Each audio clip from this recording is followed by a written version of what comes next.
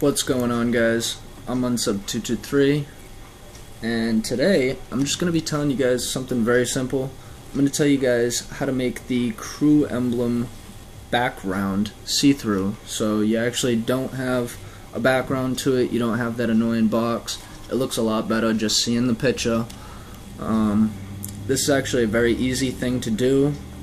Uh, I just please ask that you guys hit that like button. Um, I didn't realize how many people couldn't figure out how to do this. I've had a lot of people asking me recently. So I figured I'd put a video out there, see if I can help anybody out.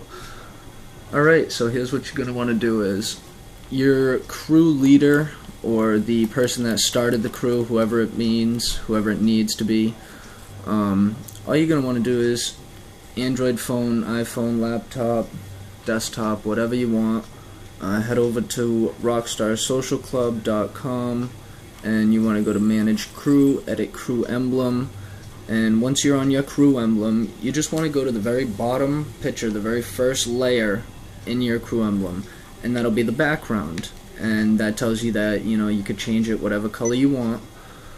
All you're going to want to do with that is you're going to want to click on a couple of the corners until you get the ability to shrink the box.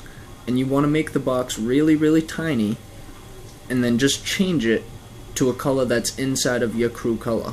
So, you know, see my, my crew emblem is, you know, black, purple, and red right there. My actual crew color is purple, but most of the picture is black. So I shrunk the box, I made it black, and I hid it right behind one of the top layers in the picture.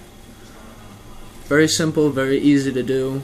Um, I'm sure a lot of people you know, hopefully this helps out a lot of people. Everybody's been asking me how to do this. So don't forget to hit that like button, guys. And I hope to, you know, see you guys in the next Grand Theft Auto 5 video. Have a great day.